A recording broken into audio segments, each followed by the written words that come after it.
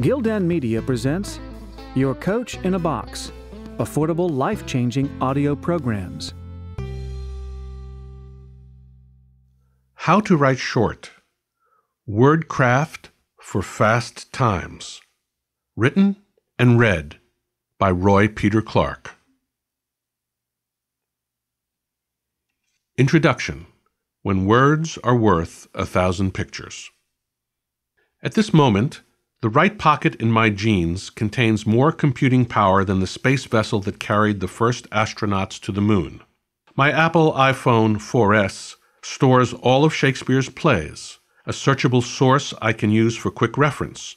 More often, I use my mobile phone for access to what are no longer being called new forms of information delivery blog posts, emails, text messages, YouTube videos, 140 character tweets, and Facebook updates, not to mention games, weather reports, Google Maps, coupons, the White House, Al Jazeera, NPR, dozens of newspapers, music sites, an electronic drum set, an app that imitates the sounds of Star Wars lightsabers, one that turns your photo into an image of a zombie, and yet another invaluable resource titled Atomic Fart, which turns your mobile device into an electronic whoopee cushion.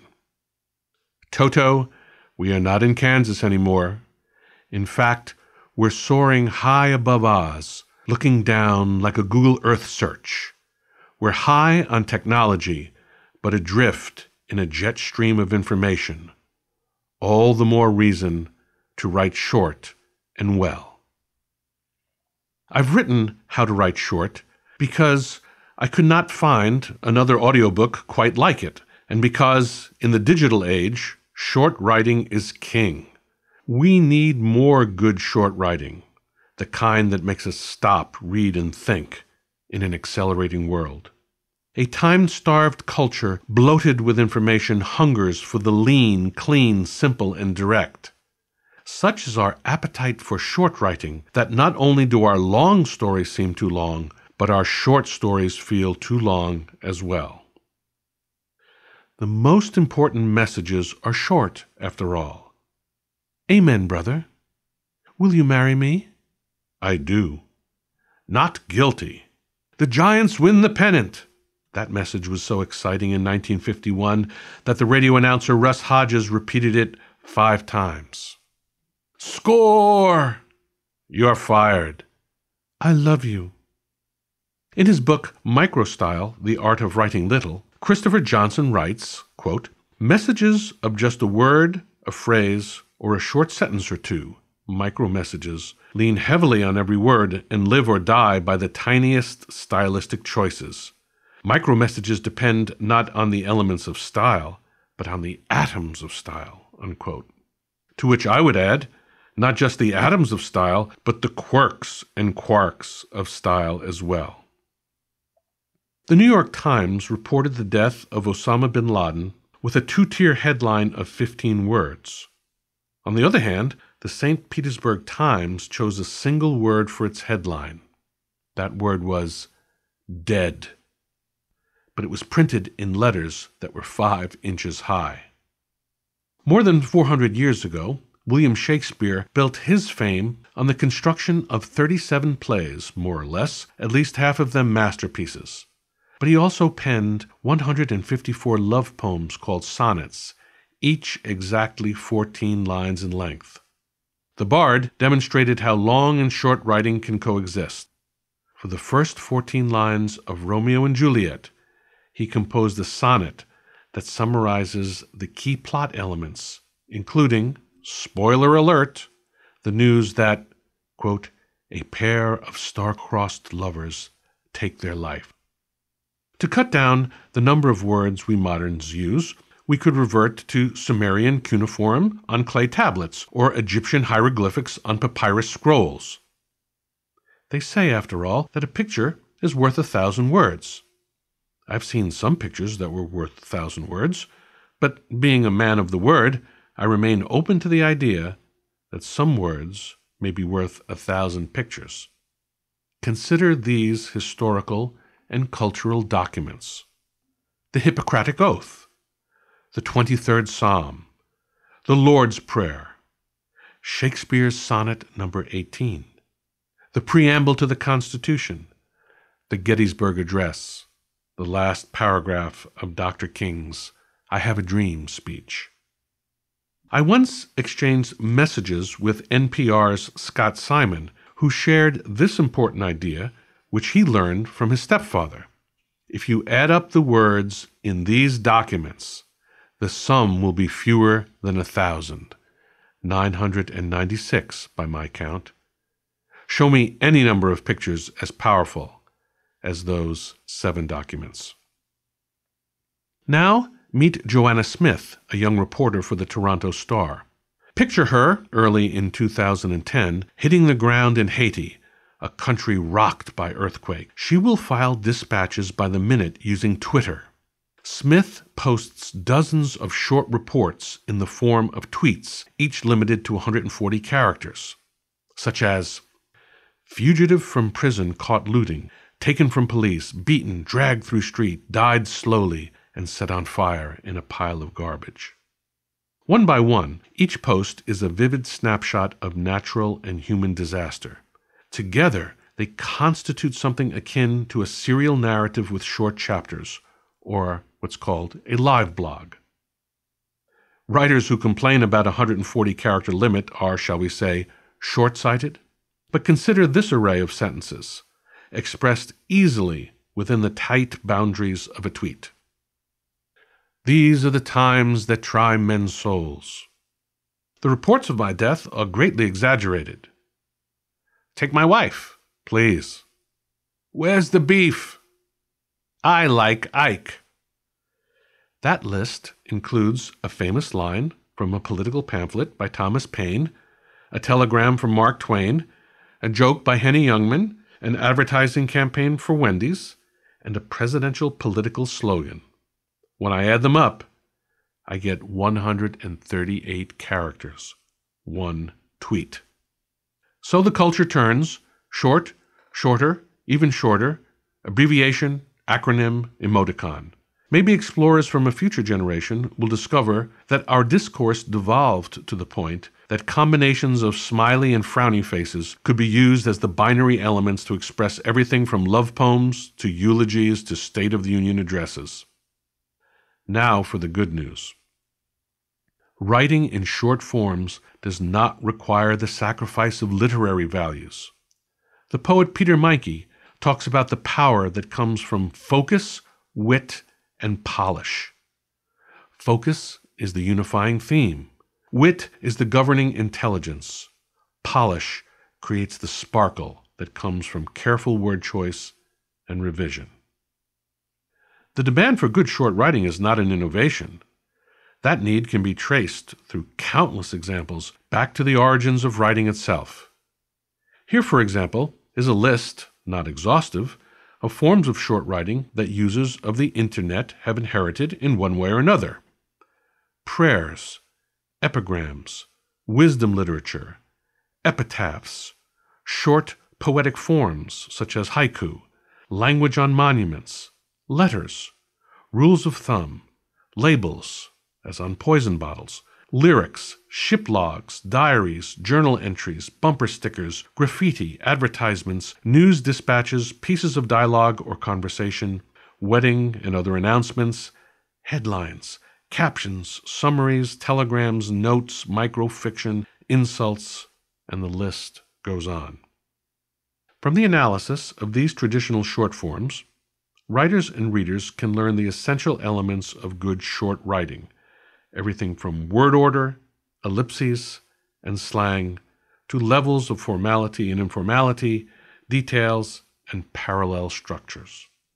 These same strategies and more can be used to great effect in the new forms that have emerged with the development of digital technology.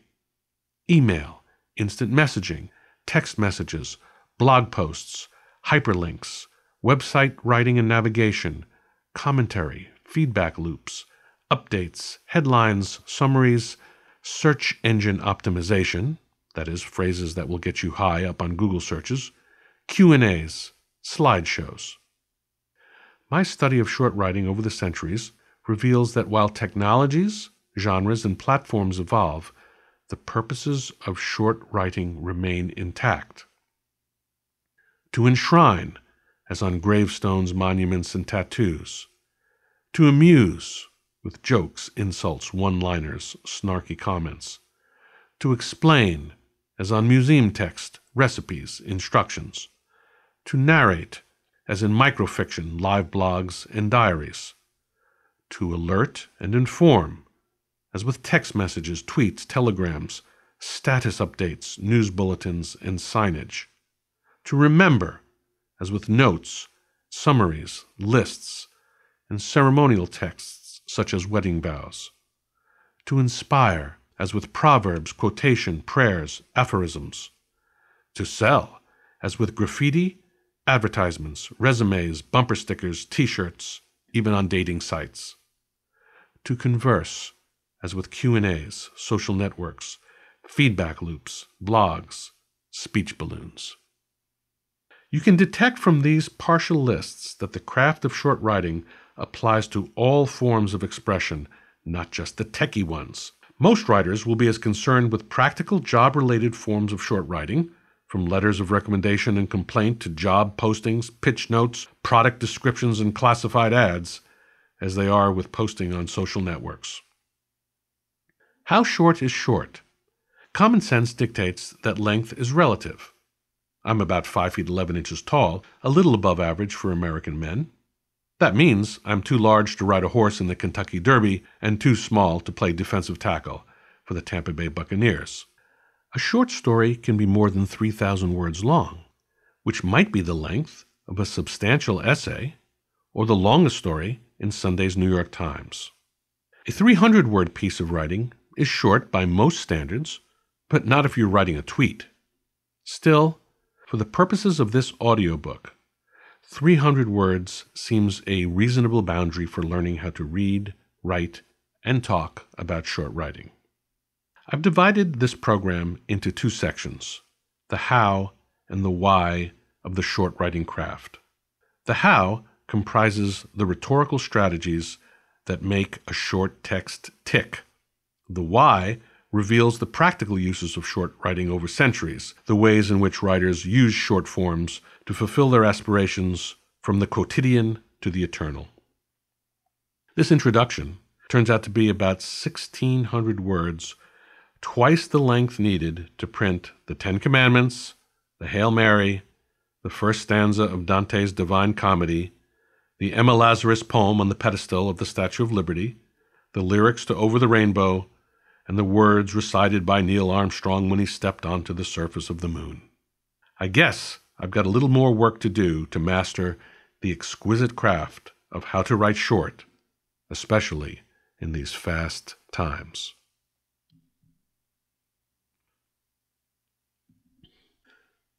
Part 1 How to Write Short. The problem of writing short is exemplified by this anecdote published in the New York Times about the famed novelist E.L. Doctorow. One morning at breakfast, when she was in the first or second grade, E.L. Doctorow's daughter, Caroline, asked her father to write a note explaining her absence from school due to a cold the previous day. Doctorow began, My daughter, Caroline. He stopped. Of course she's my daughter, he said to himself. Who else would be writing a note for her? He began again. Please excuse Carolyn Doctorow. He stopped again. Why do I have to beg and plead? He said. She had a virus. She didn't commit a crime. On he went, note after failed note, until a pile of crumpled pages lay at his feet. Finally, his wife Helen said, I can't take this any more, penned a perfect note, and sent Carolyn off to school. Doctorow concluded, Hmm, writing is very difficult, especially in the short form. When it comes to the how of short writing, you will find three paths learning short writing through reading, practicing the best short writing moves, and cutting longer texts down to size. If you want to write short, you must read short, and you must do it without bias. Yes, your reading will include classic poems and other gems of human culture, but the clever writer can never discriminate against the funkier or more utilitarian examples of the craft the baseball card, the limerick, the lyric, the ransom note, the fortune in the fortune cookie. Each stands as a work with a sharp rhetorical purpose and a clearly imagined audience. Close reading of short forms reveals the most strategic moves practiced by the best writers. To grow in the craft, we study those moves, name them, imitate them, and adapt them till they conform to our own sense of mission and begin to sound like us. A hard part of the writing process is cutting, and yes, Mr. Doctorow, the pain is magnified when the writing is short. Comparing it to surgery on the human body, cutting our prose moves us from excess fat to basic fat to muscle to bone to marrow, and even deeper. During revision, I realize that 90% of my cuts are helpful. I want to keep cutting the clutter, but I reach a point where it's hard to know what to cut and what to keep. The final cuts are hardest because they can identify nuances of meaning. Think of the sculptor's final touches, or they can threaten something essential to the reader's understanding. An editor or test reader can come to the writer's rescue. It is often those final cuts the finishing touches, that create the most dazzling facets of the diamond, a jewel of short writing ready to be polished. How and when do we make those crucial cuts? When we have worked our way through the how of short writing, we will be ready to tackle the why.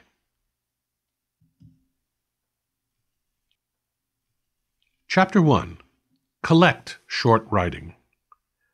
Remember the movie kid who said, I see dead people. Well, I see short writing. I collect it all in my daybook haikus and sonnets, aphorisms and parables, prayers and insults, bumper sticker slogans and t shirt rhymes, blurbs, titles, ads, street signs, marginalia, bulleted lists, song lyrics, announcements, propaganda, and names, names, and more names. I can also go new school tweets, blog posts, updates on social networks, emails, text messages, and more. I'm in an airport motel in Providence, Rhode Island, toweling off after a shower when my eye catches a green tag hooked onto the towel rack. Reuse or replace, it reads. And then, to reuse, hang towels up. To replace, Place towels on floor. Then at the bottom, take care, we owe it to one another.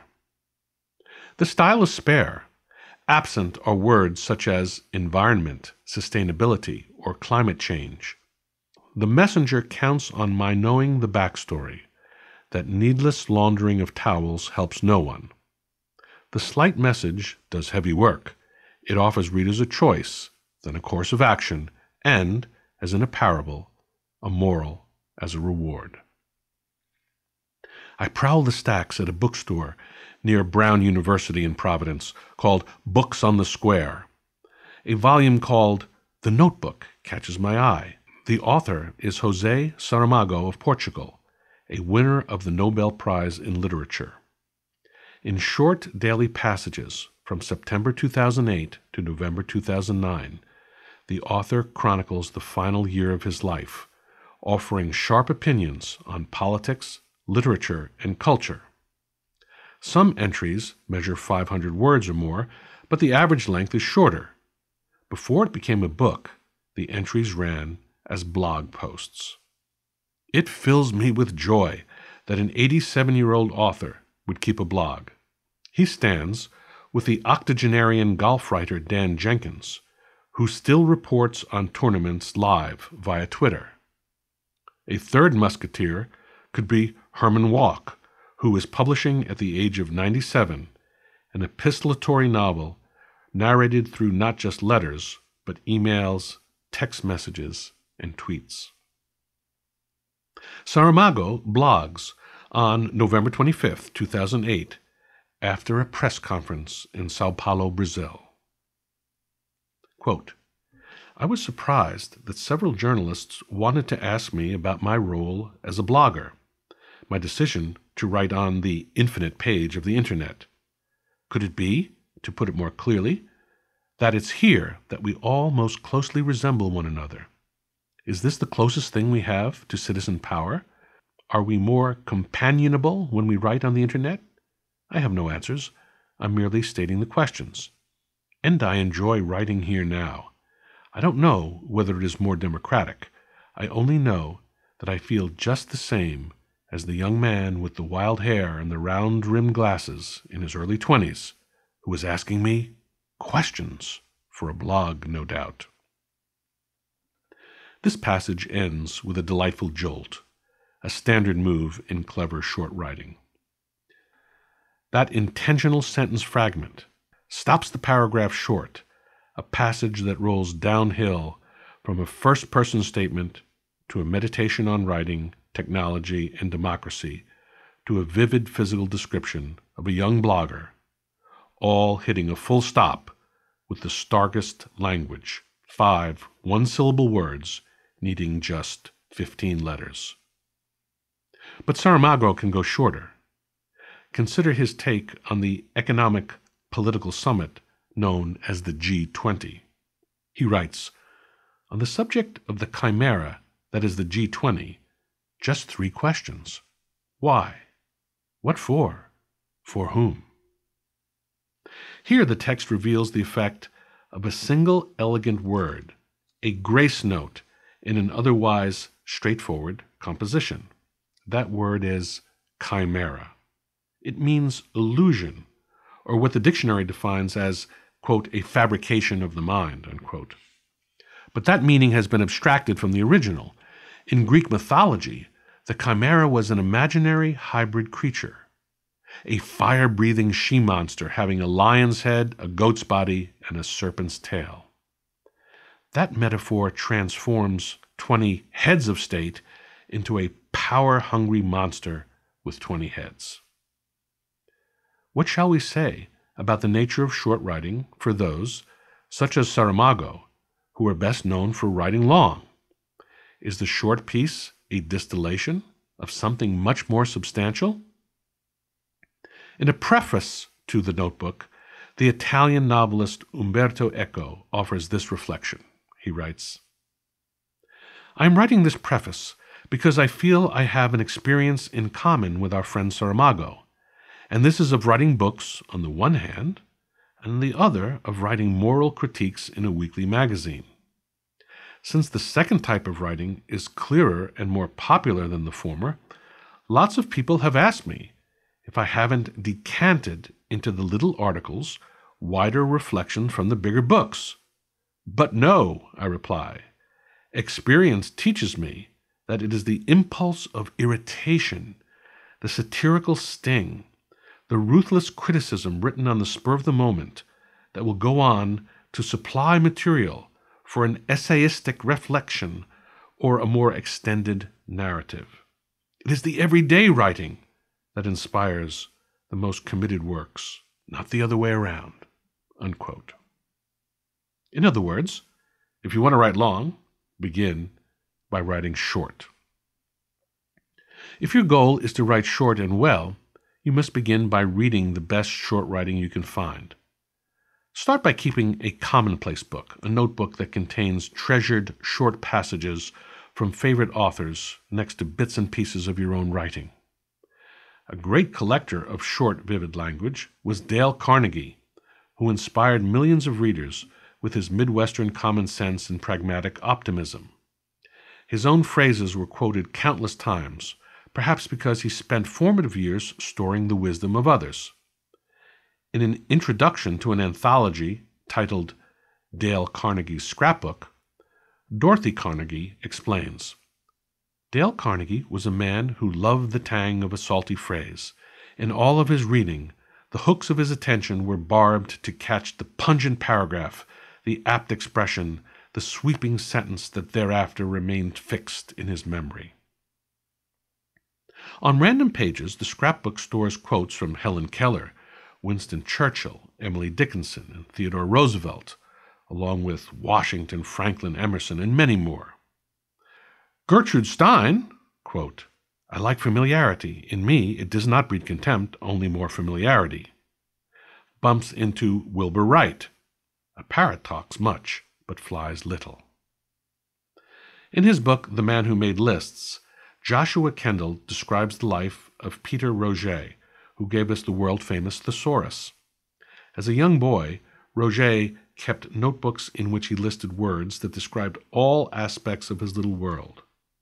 At the heart of Peter's childhood notebook are his word lists, writes Kendall, written in a neat hand and consisting of Latin words juxtaposed with their English meanings, grouped under categories such as beasts, people, parts of the body, of writing, reading, etc., in the garden, of the weather, and many more.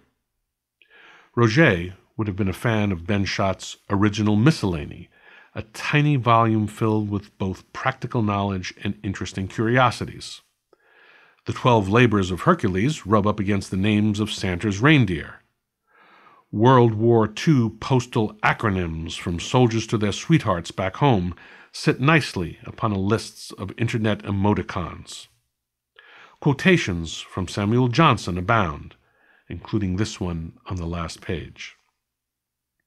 There is nothing, sir, too little for so little a creature as man. It is by studying little things that we attain the great art of having as little misery and as much happiness as possible. Let it be, Dr. Johnson, let it be. Chapter 2 Study short writing wherever it finds you. When it comes to the English language, writers cannot afford to be snobs. I may study the language of a writer such as Robert Louis Stevenson, the author of Kidnapped, but I am even more interested in the mangled language of a real ransom note. Dear Sir, have $50,000 ready, $25,000 in $20 bills. $15,000 in $10 bills and $10,000 in $5 bills. After two to four days, we will inform you where to deliver the money. We warn you for making anything public or for notify the police. The child is in good care. Indication for all letters are signature and three holes. This note one of several delivered after the kidnapping of the Lindbergh baby in 1932, became a key piece of evidence in the conviction and execution of Bruno Hauptmann for the crime. The grammatical mistakes and phonetic spelling were the first clues that the kidnapper was of German descent. The British author David Lodge says it best a novelist, or any writer, cannot afford to cut himself off from low, vulgar, debased language. Nothing expressed in language is irrelevant for the learning writer, not the chance of soccer hooligans or the list of ingredients on a box of cake mix. My reading and writing career, for example, began with baseball cards. I was a first grader when I learned to decode the letters on the pages of my Dick and Jane reading primers. And while the stories in those books were stultifying, there was a genuine thrill of discovery in turning those letters into sounds and those sounds into meaning. But because I was born in New York City in 1948, my little existence was electrified by the golden age of baseball. I owned boxes and boxes of baseball cards, which we collected, traded, and flipped in a variety of competitive games. The cards, which back then came with slabs of fragrant bubblegum, featured images of the players, sometimes in photographic portraits, sometimes in action. I still own a few favorite cards, including five from the career of the famed baseball man Don Zimmer, who has now spent more than 60 years in baseball as a player, coach, manager, and consultant. His 1954 card describes him as a prospect for the Brooklyn Dodgers. Quote, Don was leading the American Association in home runs and runs batted in, July 7, 1953, when he was struck in the head by a pitch, missing the remainder of the season. Don has aspirations to someday become a major league manager. Irony unintended. A cartoon at the bottom of the card shows a bride and groom surrounded by baseball players. Quote, he and Miss Jean Bauerle were married at home plate in Elmira, New York, August 18, 1951. Unquote. It was from these brief texts in small print on the backs of pieces of cardboard that I learned not just the background of the players, but the rules of the game, its history and traditions, and best of all, its language and slangs. That a blue dart was a line drive, a can of corn was an easy pop fly, and chin music was a pitch up and in. It took me years and years to get out of the habit of reading the backs of cereal boxes as I ate my Wheaties or Rice Krispies. There was adventure in those texts back then, promises of special prizes inside the box, trinkets such as siren whistles and magnifying glasses, or stories about famous athletes like Lou Gehrig. The boxes are not as interesting these days, but I have saved a beauty a box of Kellogg's Raisin Bran from 2003. The phrase two scoops is prominent on the front. On one side panel, under the phrase high in fiber, is a list of nutritional facts. But the jackpot for breakfast table readers is on the back, a quiz that asks you to match up short quotations with the famous people who uttered them. Who said, if my husband ever met a woman on the street who looked like the women in his paintings, he would faint. Okay, that has to be Mrs. Pablo Picasso. Correct. Answers are on the inside of the box. Be nice to people on your way up because you might meet 'em on your way down. Sounds like the gritty New York City talk of Jimmy Durante. Correct. Okay, so I got 16. We hope you enjoyed this preview. To continue listening to this audiobook on Google Play Books, use the link in the video description.